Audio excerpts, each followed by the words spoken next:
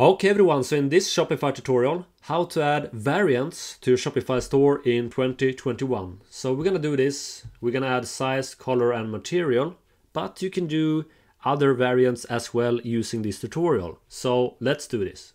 Okay, so in your Shopify dashboard, go to the left sidebar to this one, products. Now locate the product you want to add variants on. I'm gonna choose this one. Just click on the product. Okay, so this is just an example product to demonstrate variants. We're gonna go down to this one, media. So we're gonna add variants for color with a white t-shirt and a red t-shirt. So I'm just gonna go and add a red t-shirt image. Go and click on this one, add media. And choose your image, click on open. And that's it. Now we're gonna go down to this one, variants. Check this box and now this will open, options. We have option one, we have size. You can change this to color, material, style and title. I'm gonna choose size. And then we have this one, separate options with comma. So just do your options, I have small, comma, medium, comma, and to keep this demonstration short, I'm just gonna do small and medium. After that, we're gonna go and click on add another option. So for this one, we're gonna add color. So I have white, separate with comma, and red, separate with comma, like that. We can also add another option we can choose material, style or title. I'm gonna choose material. So in this uh, t-shirt you can choose between cotton and wool like that. So when you are satisfied with your options we can go down to preview. So now you see that we have different variants. We have small white cotton and the price and quantity and SKU. So SKU is a unique identifier and the identifier needs to be numbers and letters. So let's say I have small white cotton. We can add SWC and maybe t-shirt 001. So whatever you like. And then you know that if you got this SKU that you need to uh, get this uh, variant all right I'm just gonna leave that as blank. So the price we can add special price for each variant. So let's say wool is more expensive for me to buy uh, from the manufacturer. So I need to sell this at a $15 cost like that. And also quantity. I have small white wool of a quantity of let's say 20 like that. But to edit things faster we're just gonna go and save this in the top right corner.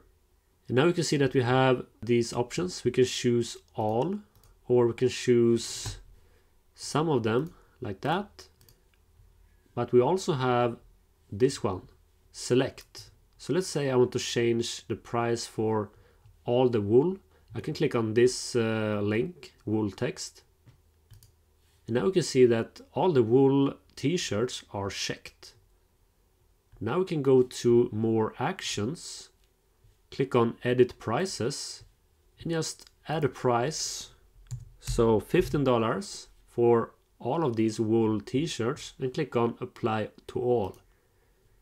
And now all of these wool t-shirts has a price of $15. Let's go and click on done. So then you will save a lot of time, okay? Same thing with uh, uh, the red t-shirts. We can click on red and all of the red t-shirts are selected.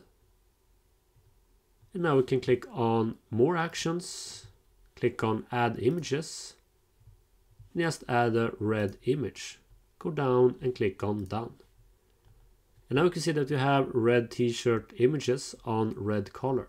So let's go and just do this for white. I'm gonna click on white, click on more actions, click on add images and choose white image. Click on done. Fast and easy. So now just go up to the top right corner, click on save. And we also have another option. If I click on this one, add variant, we have a more detailed view. So if I click on this one, small white cotton, we can see that we have this uh, more in detailed uh, view for each variant. So now we can see our options in more detail for each variant. So we have size, color and material. We have pricing, inventory, shipping. Okay, so that's uh, nice to know if you want to have a nicer overview of each variant. I'm just going to go and click on back to product. And I'm just to go and add uh, quantity to all of these. I'm just to click on more actions, click on quantities. And in my case, I'm to get 20 for all. I'm to click on apply to all, click on save. But in your case, it may be different quantities for each variant. All right. Let's go and click on preview. Okay, so now we have size, color and material.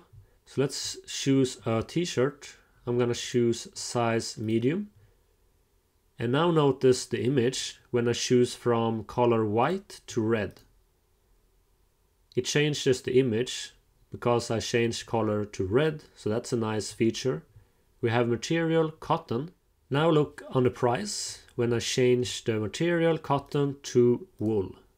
It changes to 15. Alright. Okay everyone, so this is how you can add variants to your Shopify store. If you like this video, please check out my full Shopify playlist in the description below. And also check out my other videos. Have an awesome day, take care and bye.